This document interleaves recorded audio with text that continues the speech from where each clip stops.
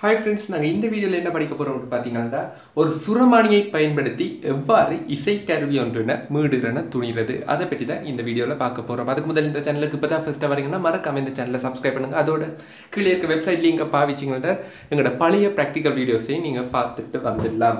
சரி இப்போ பார்த்தீங்கன்னா நாங்கள் ஏற்கனவே சொன்ன மாதிரி இசைக்கருவி ஒன்றுண்ட ஒரு மீடுறன. தெரியாத இசை மீடுறனுடைய ஒரு இசைக்கருவி இருக்கா? அதனுடைய மீறனை காண போகிறோம் சரி அதுக்கு என்ன பயன்படுத்த போகிறோம்னு இந்த அமைப்பை பார்த்தீங்கன்னா இதைத்தான் நாங்கள் சொல்லுவோம். சுரமானி பெட்டின்னு சொல்ல போகிறோம் அதுக்கு முதல் பார்த்தீங்கன்னா நாங்கள் இந்த ப்ராக்டிக்கல் வந்து பெரும்பாலும் அந்த தெரியாத மீட்டனுடைய அந்த இசைக்கருவிக்கு பதிலாக நாங்கள் வந்து இசைக்கவைன்னு தான் பயன்படுத்துவோம். சரி நீங்கள் லப்புக்கு போயிருந்தீங்கன்னா இசைக்கவையை பார்த்துருக்க சான்சஸ் இருக்குது அது ஒன்றும் பெரிய விஷயம் இல்லை. அதாவது நீங்கள் சாதாரணமாக பார்த்துருப்பீங்க.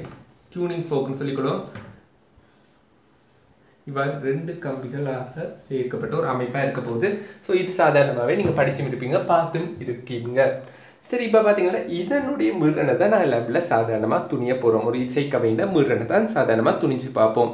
சரி இந்த இசைக்கவையை பற்றி ஃபஸ்ட்டாக பார்த்தோம்னா இசைக்கவையில் உங்களுக்கு என்னென்ன விஷயம் தெரியும்? இசைக்கவையை பற்றின்னு பார்த்தீங்கன்னா இசைக்கவையில் வந்து நீளம் கூட கூட என்ன நடக்கும்னு பார்த்தீங்கன்னா மீடுறன் குறையும். சரி அது முதல் இசைக்கவை என்ன என்னன்னு பார்த்தோம்னா ஒவ்வொரு மீடுறனும் அதாவது இயற்கை மீடுறன்கள் வந்து ஒவ்வொரு இயற்கை மீடுறன் இருக்க போது நம்ம ஒவ்வொரு பொருளுக்கும் இயற்கை மீடுறன் மாறுபடும் நாங்கள் ஏற்கனவே சொல்லியிருந்தோம். ஒவ்வொரு பொருளுக்கும் ஒவ்வொரு இயற்கை மீடுறன் இருக்க போகுது. சரி இயற்கை மீடுறன் என்னன்னு பார்த்தோம்னா ஒரு பொருளுக்கு நாங்கள் ஒரு அதிர்வை கொடுத்து விட்டோம்னா ஒரு விசையை கொடுத்துட்டு நாங்கள் விட்டோம்னா இப்போ அந்த பொருள் வந்து அதிர போகுது.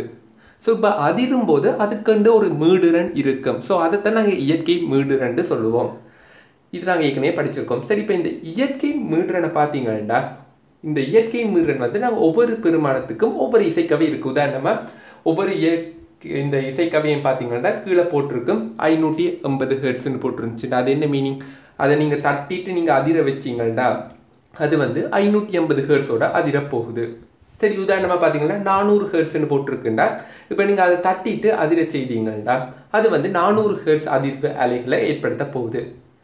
ஸோ இது அதை விட இன்னொரு முக்கியமான விஷயம் இன்ட்ரெஸ்டிங்கான விஷயம் என்னென்னு பார்த்தீங்கன்னா இந்த இசைக்கவியால் உருவாக்கப்படுகின்ற மீட்ரன்கள் இந்த அலைகள் வந்து எவ்வாறு இருக்கும்னு பார்த்தீங்கன்னா அது வந்து தூய சைன் அலைகளாக சைன் வடிவத்தில் இருக்குமாம் அதாவது நாங்கள் ஏற்கனவே சைனின் பண் அதாவது அலையின் பண்புகள் படிச்சிருக்கோம். அதாவது அலைக்கு வீச்சம் இருக்கும் அதே மாதிரி மீட்ரன் இருக்க போது அதே மாதிரி அலையின் வடிவம் மாறுபட்டா அதாவது அலையின் பண்பு மாறுதுன்னு சொல்லுவோம். ஸோ இப்போ இந்த அலையின் வடிவம் எவ்வாறு இருக்கும்னு பார்த்தீங்கன்னா தூய சைன் அலை வடிவங்களாக இருக்குமா? அதாவது ஒரு மீட்டரை நாங்கள் தட்டி விட்டோம்னா அதில் உருவாகின்ற அலைகள் வந்து இவ்வாறு சைன் அலைகளாக இருக்குமா? தூய சைன் அலைகளாக இருக்கும்னு தரப்பட்டிருக்கு. ஸோ இவ்வாறான ஒரு அலைகள் தான் உருவாக்கப்பட போகுது. ஸோ இப்போ பார்த்தீங்கன்னா ஒவ்வொரு இசைக்கவைக்கும் ஒவ்வொரு தனித்துவமான மீடுரன்கள் இருக்கும். ஸோ இப்போ பார்த்தீங்கன்னா என்ன நடக்கும்னா இந்த மீடுரன்களுடைய இல்லா இசைக்கவையையும் அதாவது ஒரு செட்டாக உதாரணமாக நூற்றி இருபது ஹெர்ட்ஸ் முந்நூறு ஹெர்ட்ஸ் நானூறு ஹெர்ட்ஸ் ஐநூறு ஹெர்ட்ஸ்னு ஒரு அடிப்படையில் ஒரு ஏழு இசைக்கவியை சேர்த்து ஒரு பாக்ஸில் வச்சுருப்பாங்க. ஸோ இதை வந்து இசைக்கவை தொகுதின்னு சொல்லுவோம். இல்லாட்டி இசைக்கவை பற்றின இப்போ நீங்கள் லப்புக்கு போனீங்கன்னா அவ்வாறான ஒரு அமைப்பு தான் இருக்க போகுது. ஸோ இதை விட இசைக்கவையில் இன்னொரு இன்ட்ரெஸ்டிங்கான விஷயம் என்னென்னு பார்த்தீங்கன்னா இசைக்கவையில் இந்த தண்டினுடைய நீளம் வந்து கூட கூட அதாவது பரிபுருகின்ற பகுதின்னு சொல்லுவோம். இதில் ஏன் இசைக்கவையில் ரெண்டு தண்டு வச்சுருக்காங்கன்னு சில பேருக்கு டவுட்ஸ் வரும். என்னென்னு பார்த்தீங்களா ரீசெண்டாக இப்போ உதாரணமாக நாங்கள் ஏற்கனவே பரிவு பற்றி படிச்சிருக்கோம்.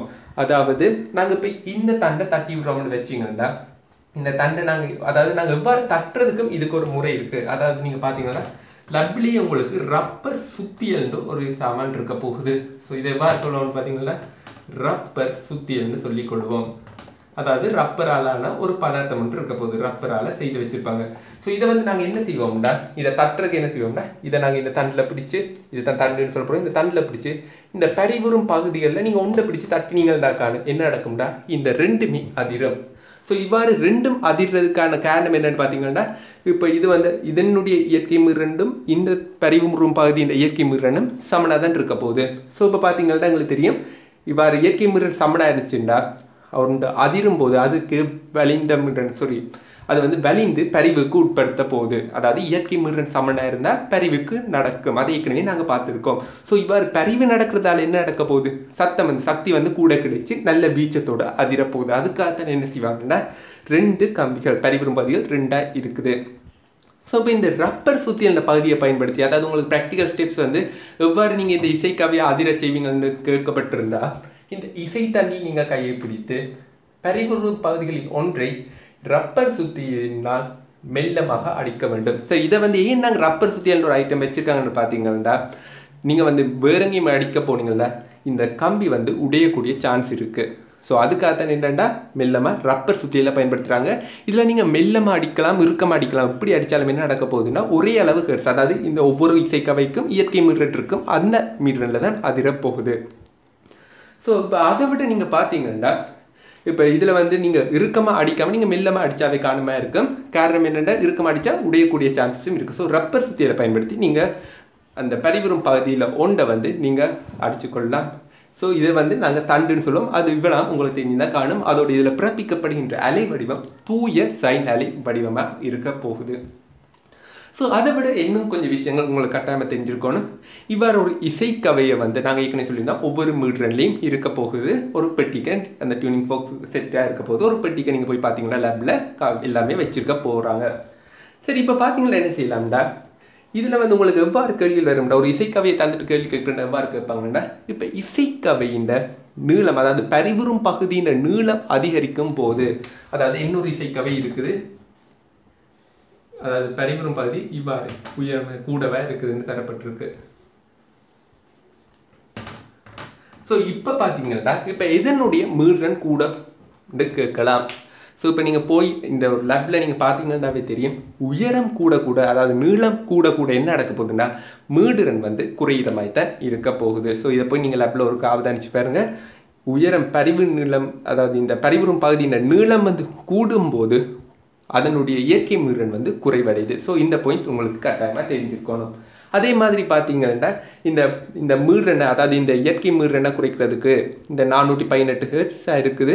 நீங்கள் இதை கொஞ்சம் குறைக்கணும்னு பார்த்தீங்களா என்ன செய்யலாம்டா இதில் வந்து நீங்கள் மெழுக கொஞ்சம் ஊற்றி விட்டீங்கன்னா காணும் என்ன நடக்கும்டா அதனுடைய மீறன் வந்து குறையும். அதாவது ஒரு பக்கத்துலேயே நீங்கள் கொஞ்சம் மெழுக நீங்கள் கரைச்சி அதை சூடாக்கிட்டு நீங்கள் இதில் மெல்லமாக ஊற்றி விட்டீங்கன்னாவே வந்து குறையக்கூடியதாக இருக்கும் தச்சில் இந்த நானூற்றி பத்து ஹெர்ட்ஸை கொஞ்சம் கூட்டணும்டா நீங்கள் என்ன செய்யலாம்னு பார்த்தீங்கன்னா இதில் வந்து நீங்கள் மெல்லமாக ஒரு அறத்தை எடுத்து அதாவது நீங்கள் அறம்டா கேள்விப்பட்டிருப்பீங்க அந்த கூர்மையாக்குறதுக்கு பயன்படுத்த போகிறோம் ஒரு இரும்பை இல்லாட்டி ஏதாவது ஒரு தகரத்தை கூர்மையாக்குறதுக்கு பயன்படுத்துறது. அதாவது கிட்டத்தட்ட ஒரு கத்தி மாதிரி. ஸோ இது அதை வச்சு நீங்கள் இதில் தேய்ச்சி விட்டீங்கன்னா இந்த முனையில் ஒன்று தேய்ச்சி விட்டீங்கன்னா இந்த இடத்துல என்ன நடக்க போகுதுன்னா இதனுடைய மீட்ரன் சாதாரண ஒரு நானூற்றி பதினெட்டு ஹெர்ட்ஸ் ஒழுங்காக இருக்கிற இசைக்கவையின் மீட்ரனை விட கூட போகுது.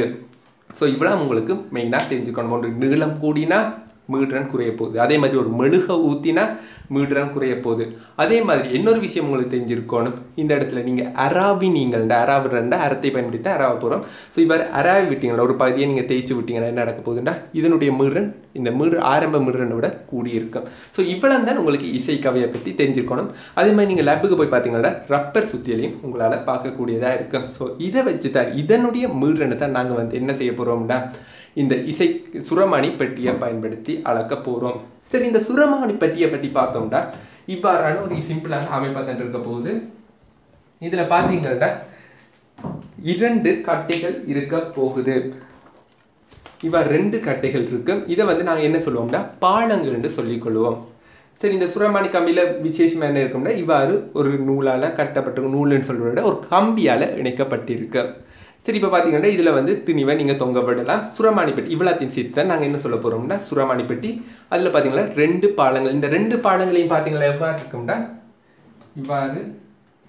இதில் வந்து ஒரு கம்பி இருக்க போகுது. அதாவது இப்போ ஒரு அரிய ஷேப்பில் தான் இருக்க போகுது. முக்கோண அரியம் இவ்வாறான ஒரு ஷேப்பில் தான் இருக்கும் இதில் வந்து ஒரு கம்பி.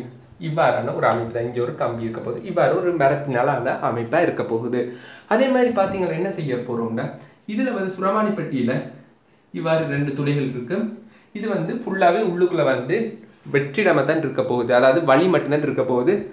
இந்த மரத்தினால ஃபுல்லாக நாங்கள் அடைச்சி வச்சிருக்க மாட்டோம். காரணம் என்னென்னு பார்த்தீங்கன்னா இதனுடைய உரப்பை அதாவது இதில் ஏற்படுற இந்த உரப்பை வந்து கூட்டுறதுக்காக நல்லா அதிரச் செய்கிறதுக்காக தான் என்ன நடக்க போகுதுன்னா உள்ளுக்க வந்து வெற்றிடமாக தான் இந்த சுரமானி பெட்டி இருக்க போகுது. உதாரணமாக நீங்கள் வயலினை பார்த்தாவே தெரியும். வயலினில் வந்து கட்டாயம் என்ன நடக்க போகுதுன்னா அதனுடைய சத்தத்தை கூட்டுறதுக்காக என்ன நடக்கும்டா அதில் வந்து கட்டாயமாக இந்த வயலின் பாக்ஸை பார்த்தீங்கன்னா அதுக்குள்ளே வந்து கட்டாயமாக ஒரு வெற்றிடம் ஒரு வழி மட்டும் போகக்கூடிய இடமா இருக்க போகுது. ஸோ இவ்வாறான ஒரு அமைப்பு இருக்கிறது. காரணம் என்னென்னா உறப்பை வந்து கூட்டுறதுக்காக ஸோ இவ்வளோ அமைப்புலையும் உங்களுக்கு கட்டாயமாக தெரிஞ்சிருக்கணும். ஸோ மற்ற வீடியோ நாங்கள் அடுத்த வீடியோ செய்ய போகிறோம் சுரமணி பெட்டியை வச்சு எவ்வாறு அந்த ப்ராக்டிக்கலை மேற்கொள்கிற வீடியோவை நாங்கள் அடுத்த வீடியோவில் போகிறோம் ஸோ கட்டாயமாக மறக்காமல் பார்த்துருங்க ஏதாவது டவுட்ஸ் இருந்தால் கீழே கமெண்ட்டில் லீவ் பண்ணுங்கள் அதோட இந்த வீடியோவையும் மறக்காமல் லைக் பண்ணிடுங்க. தேங்க்யூ